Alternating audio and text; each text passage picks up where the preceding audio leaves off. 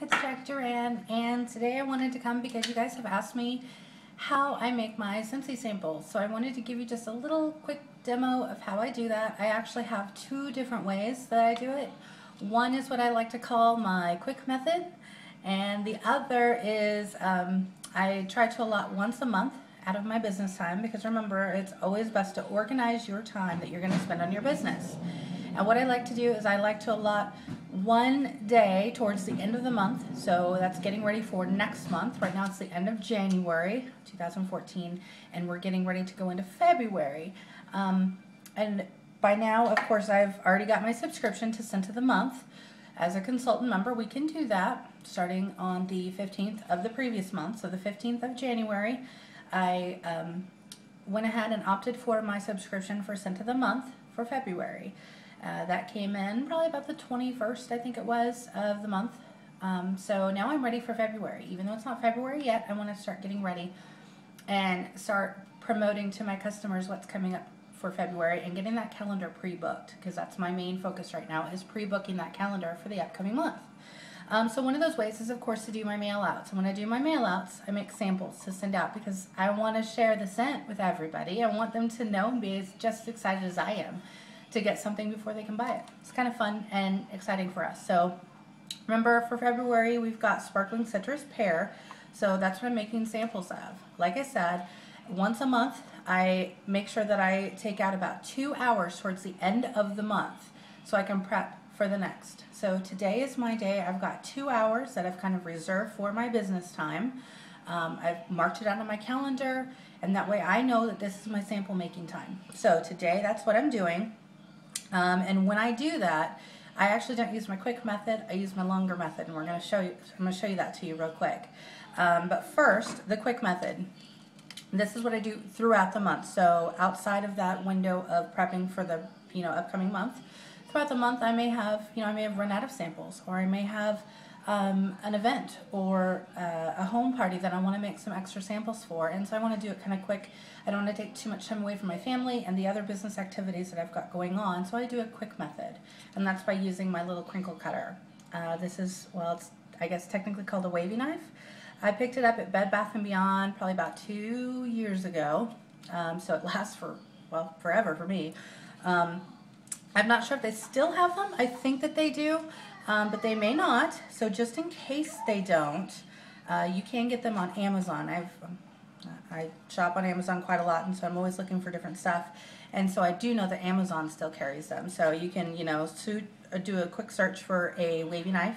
Probably be able to find that real easy. So anyway, wavy knife, quick method of doing it.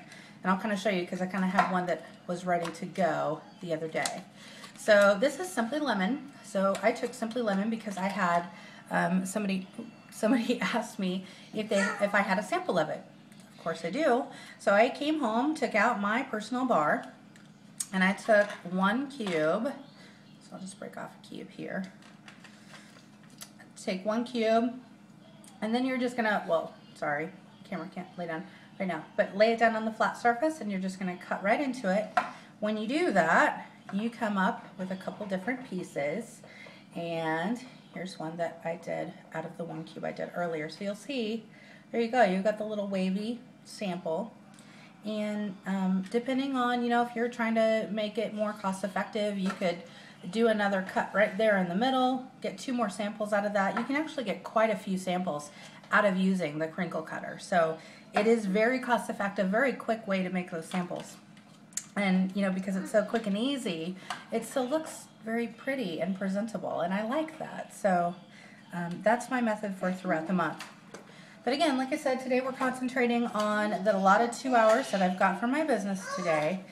And so what I'm going to do is show you my molds. So this is, actually did two real quick just to show you guys, but here. Um, these are plastic molds I get these at Michael's, preferably. That's just where I normally shop. Um, you can get at Michael's, Hobby Lobby, Amazon, uh, any of the candy stores around town, or even online. You can get online and Google them, and you can probably find a couple candy stores because these are actually candy chocolate melts molds.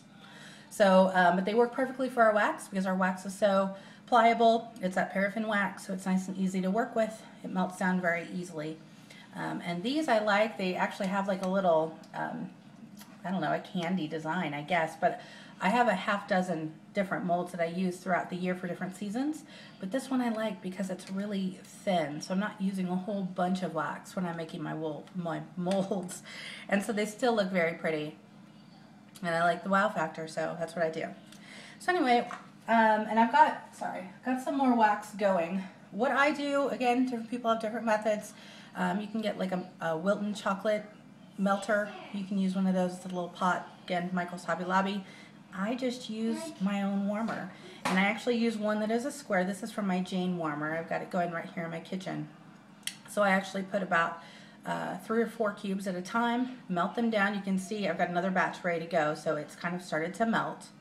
Um, what I'm going to do is get that melting. Once it's melting, I'm going to, I'll show you real quick. I'm going to take that, so I'm going to take my wax, oops, and I'm just pouring it directly into the mold.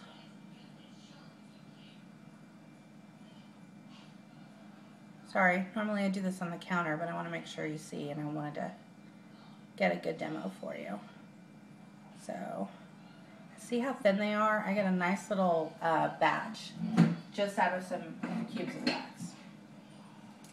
Alright, so once those are poured in, then I'm going to actually pop those into the freezer, about 10 minutes. That's it.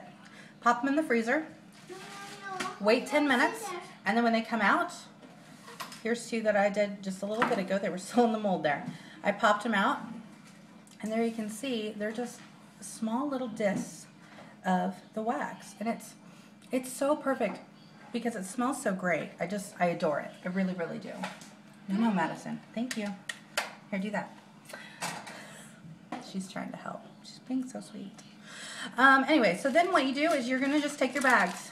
Um, I've got a couple different uh, sizes of bag. Um, I can, again, buy these anywhere. I get mine mostly off of Amazon because I can buy in bulk and get them cheaper that way when I buy in bulk. But I use the 2 by 3 size. You can also, from the Scentsy Family Store, get, they've got some bags as well. Um, they're called the mini zip bags. And as you can see, they've got the Scentsy logo on them. And they're a perfect size if you want to put in one of your business cards in there. So, especially when I'm doing an event, I will actually use these. I will put my business card in, put a sample in with it, and then either write or do a label on the business card that shows what the scent is. So, that's kind of very fun. But these are for my mailouts. So for my mailouts, what I do is I take one of the two by three bags. I put my label on the back with my information. That's just a standard label that I use for all of my stuff. And then I take my label maker and I um, type out the name of the scent. So today again is Sparkling Citrus Pear. So I've got that on the front of the bag. So we just open our bag. We pop in our little sample, close it up. There we go. No, no, Madison, no more, okay? And then I take one of our monthly flyers, because again, remember, I'm doing mail outs. I want to get these out to my customers in the mail so they can smell it and see it. And so I take one of those monthly flyers, I just fold it into three. So I fold it so it's just like that. So it fits perfectly in my envelope that I use for my mail outs. So I've got this, it says monthly special on the front. I take my sample and so I'm just going to open it very quickly here. I got my stapler. I'm going to staple my sample. And there we go. So this fits perfectly in the envelope that is ready to go out the door. No, no, Madison, not anymore.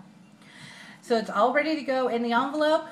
It's once they open it, of course, they've got the entire flyer with all the information. They've got their fun sample, and now they're ready to smell and be excited, just like I am for February. So there you go. That's it in a nutshell. Samples are pretty easy. Like I said, you get a little assembly line going, and you can really knock these out quick.